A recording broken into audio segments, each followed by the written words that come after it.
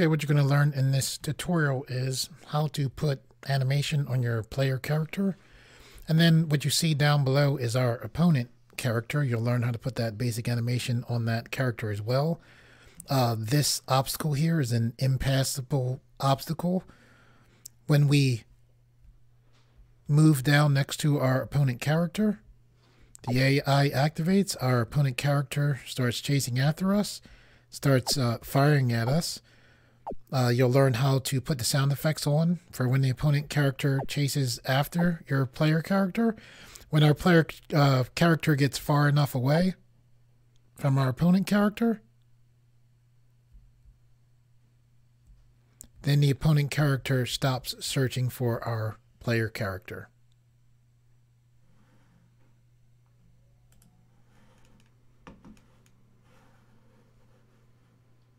Go to key pressed. Okay, so now we see this test of a key is pressed. We're going to click here.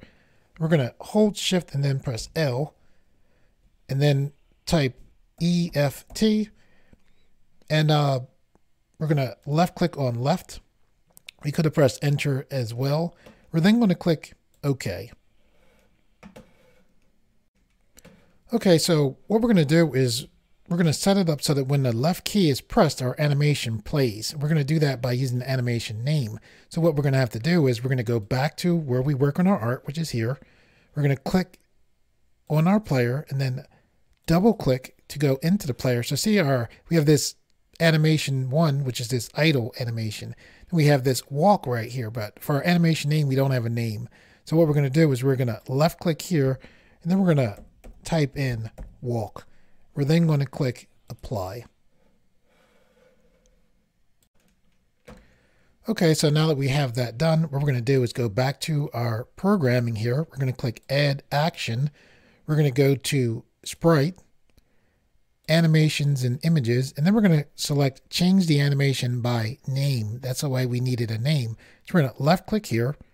We're going to go to, for our object, select Player, and then for our animation name, this is uh, the name that we put in. So what we want to do is hold shift, put quotations down. This is important. Make sure that you put the name that uh, we put in, which if you followed right along with me is walk. So with the walk in between those two quotations, we're then going to click OK.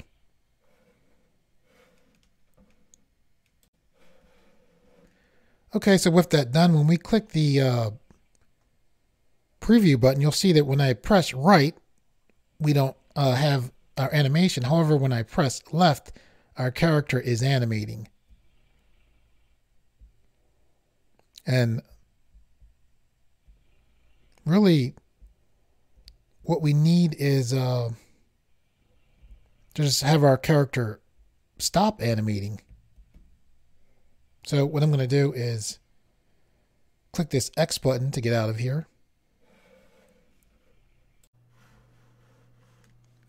Okay, so what we're going to do now is we're going to click play.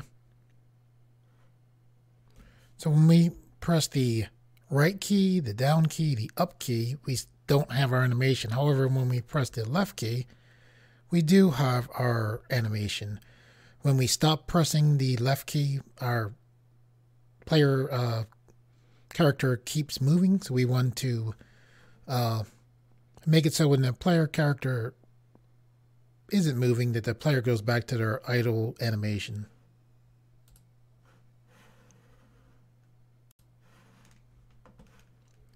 Okay, so in the past I had shown how to do a uh, top-down player walking animation and how to set up the programming for that. And what I did was I did the same setup and then I had a left key like you see here, and then I had right key, up key, down key. We actually don't need that.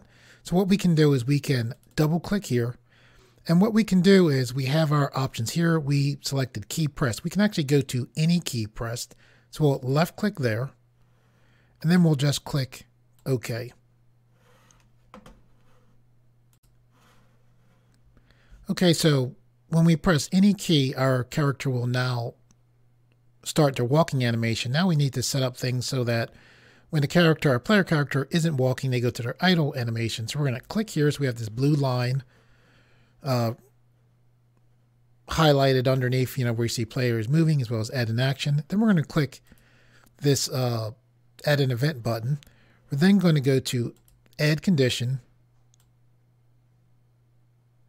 We're going to go to top down movement. We're going to select is moving like before. We're then going to select player. However, this time we're going to click invert condition and then I'm going to click OK. Okay, so uh, we have this player is moving set for our condition. Now what we want to do is click add action.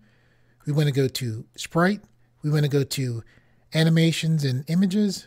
And then we want to go to change the animation by name. We're going to select player. Then we're going to click here, put in quotation, idle, then quotation. Then we'll click OK.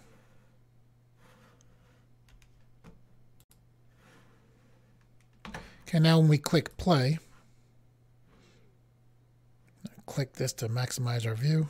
Now when we push a button, our player walks. Then when they stop, they go to their idle animation.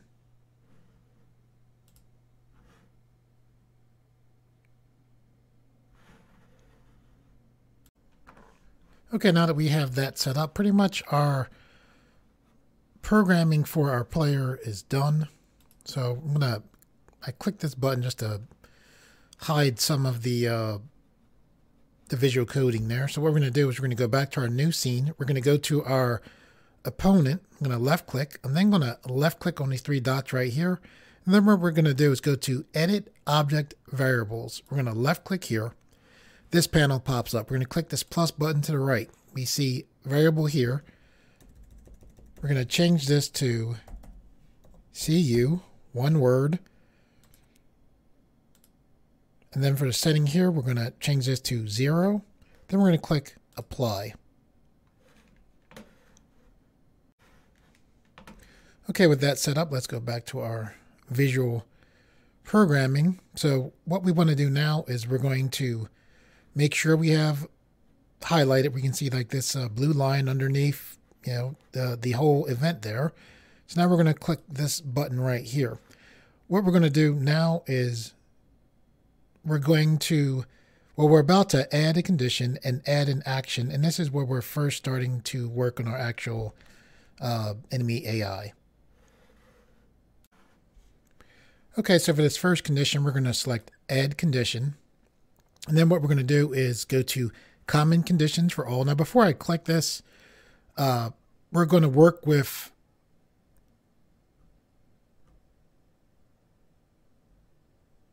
we're going to work with uh, variables. There's multiple types of variables. So you can see this variables right here. So if I click here, see this says global variables, value of a scene variable, text of a scene variable. You do not want this. Even though this is very close to where you see common conditions for all, we see variables. You don't want this variables right here. And this is the variables you see before I click here. Now I'm going to click here. Now when I click here, all of this opens up, right? You're going to scroll down and you see this variable looks just like the other ones. However, this is the value of an object's variable. So just be careful about that. So what you're going to do is you're going to left click on value of an object's variable. This is the opponent's variable. So you're going to left click on opponent. And then you're going to click here to select the variable. So we're going to select CU. This is the variable that we made up for our opponent. I'm going to left click to get away from that. We're going to click here, and then we're going to select equal to. I When I click down here, this changed to invert condition. We don't want this. That happen when I click down. That happens to be careful of that as well. And for this setting, we want to change this to 1. So then we're going to click OK. Okay, so what's going on here is we're saying, look, uh, when the variable of the opponent. Remember, we went to opponent, we went to the right, we clicked the three dots, we made a variable named CU, and we uh, set that to zero. So we're saying that variable, a variable, think of it as a container of information, when that variable is equal to one. So here we're not saying, you know, how this gets to one, but we're saying when it is equal to one, we want you to do this. And that's what we're about to do now. Okay, so we're going to go to add action. We're going to look for path finding behavior. Just here. We're going to go down to move to a position. So we say move the object to a position. So this is the object that we want to move is our opponent. So now we have this, uh, okay, which the position you want to move to, right? So we click here. Sometimes when you click in GDevelop, you'll see like an option there. Uh, so what we're going to do here is we're going to click here. We're going to go up to common expressions for all objects. Click there. Then we're going to go to position. Then we're going to select X position. We're going to click here. We want player because we want our opponent to move towards the player. So we're going to left click here. Then we're going to click done. Okay, so now what we want to do with this is we're going to press the space key. We're going to enter a plus. We're going to press the space key again. Don't be concerned with that. Now we're going to click on the blue button again. We're going to scroll up we're looking for random. We're going to select random. Then we're going to select random